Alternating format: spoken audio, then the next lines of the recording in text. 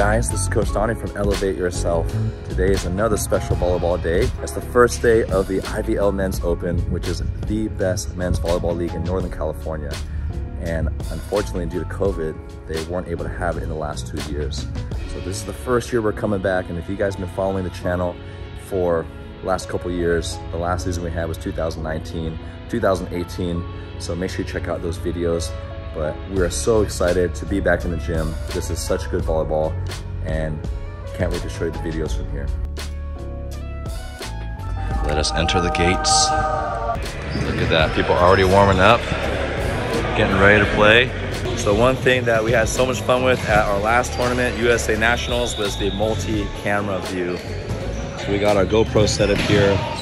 Right now, we only have two cameras set up, but we're gonna try to do more of that. So we're refing first. We get a chance to warm up a little bit, take our time, and then we're on right after. This also means I get time to put on my trusty Go Sleeve cap sleeves. Put these on nice and easy. These are currently my favorite knee sleeves and calf sleeves. Right now I'm only wearing the calf sleeves. My quads feel good like to feel a little springier and my Keeleys take a long time to warm up so that's why I like these. If you want to try your own Go sleeves, which I highly recommend, you can use my discount code in the description box to get 15% off any of their products. One thing that's great about being off is you get to watch all the great volleyball here. Ooh, a roll shot. You guys remember Zach from our USAV team. And then here we go on the third court.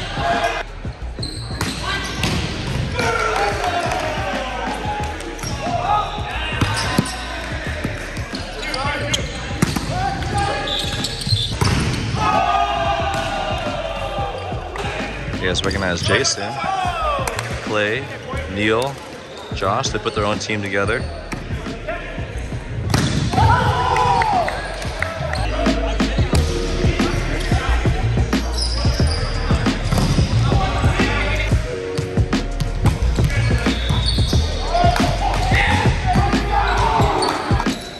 I've been really enjoying these Dame sixes. Luckily the floor is pretty clean today. But man, this is, they have really good spring, decent traction, but they're so comfortable. This is like a perfect mixture of firm and, and soft. I have a review video if you want to check it out. I'll leave it linked below, but I've just really been liking these shoes.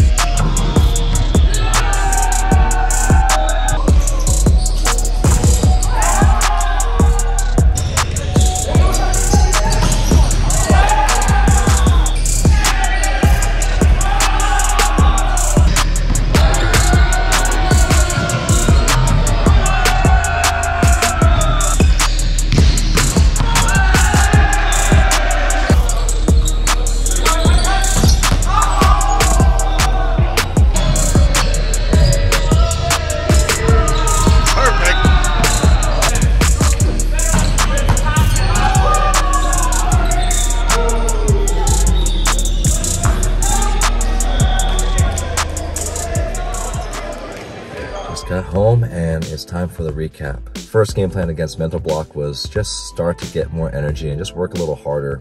We really had to bring our cheers back. Uh, when we get a stuff block, Chris usually claps twice and we all say kaboom. When we get a kill, I usually clap twice and then we all say, which is what I love to yell when we get a kill. And if we get an ace, Brant claps his hand twice and then we say, so that's just a really fun way to get our energy up and to keep us focused and really just to celebrate the good things that we do. So that was our game plan, just dialing in and trying to get back that emotional rhythm.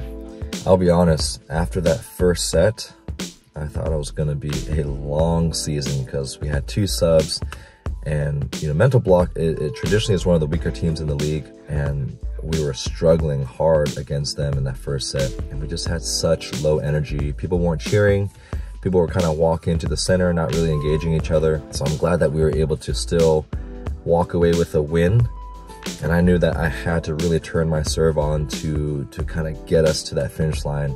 And hopefully by second set, after we reset, we were able to, we'd be able to have a little bit more of a rhythm and honestly, just try a little harder. There are so many plays where we just stopped playing. Either the whistle, either we thought it was four touches, or we weren't going all out on defense, and that's just always frustrating to watch.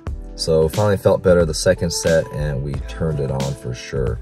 Second match against Namaste, they're usually one of the top three teams, and I highly recommend watching all of our previous battles, Tall Ones versus Namaste, from the last 2017, 2018, 2019. They're always really, really good games to watch. So we knew that this was going to be a battle, and honestly, I wasn't sure how we were going to do against a really strong team. We had a chance to watch um, Namaste play as we were off, and we saw that the player in all black and white knee pads was not as strong of a passer. So we made sure we served him, and that worked. Uh, we threw them out of system to the point where they actually hit him and serve receive, and they actually had their opposite hitter coming to pass. So the next thing you know, we're trying to target him, and that also worked. So when we got them out of system, we had a more predictable offense to defend against, and then we are able to kill in transition. And we definitely were really good in transition this game.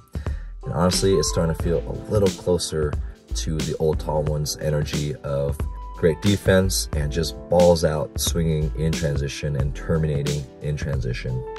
And plus, we really brought some good serving.